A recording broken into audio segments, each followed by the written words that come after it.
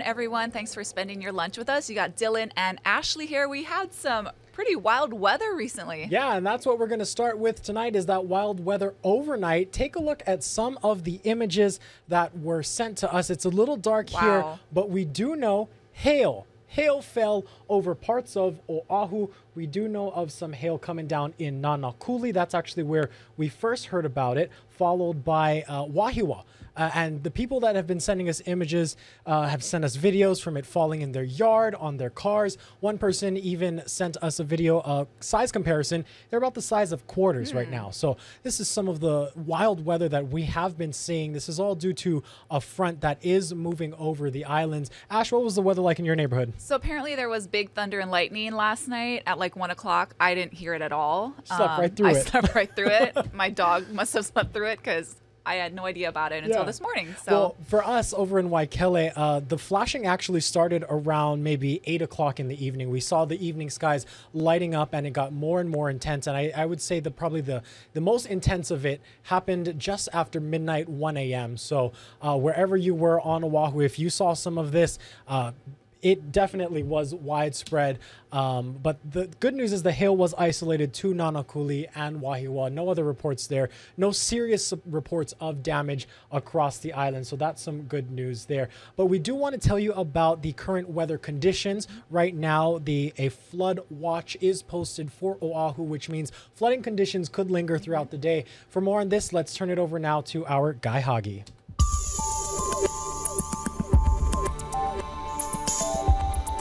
And for more on the wild weather that we've been seeing now, let's bring in our Guy Hagi. Uh, aloha, Guy. Thanks for joining us here today. Uh, what are the conditions looking like so far? Okay, the most pressing thing, Dylan, is for us here in Oahu. That's where the National Weather Service has posted this flood watch. And what does that mean?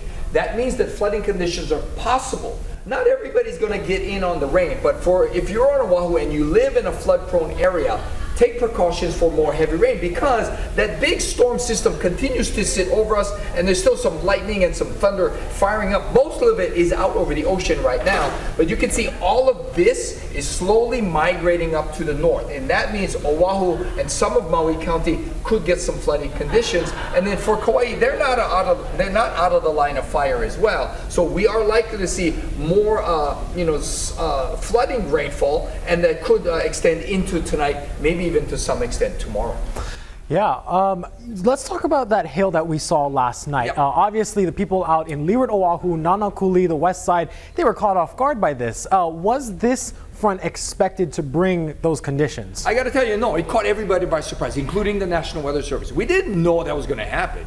We knew that the stormy system and the stormy conditions were over us, but for it to, for it to fire up hail and that light show overnight, and which continues this morning, by the way, uh, it- we didn't we didn't see that coming. But we knew that that stormy disturbance was there and the slight possibility of that. Now, the thing is that there's still a possibility for more heavy rain this afternoon because of all the moisture, because of the light winds, because of the cloud buildup that's expected to happen. So here's what we expect for today, right? We've got some thunderstorms out there this morning, right? And then by lunchtime, things are going to settle down just a little bit. But because of the light winds, because of the humid air mass, because of all the moisture, we could see more spotty thunderstorms by this afternoon through tonight.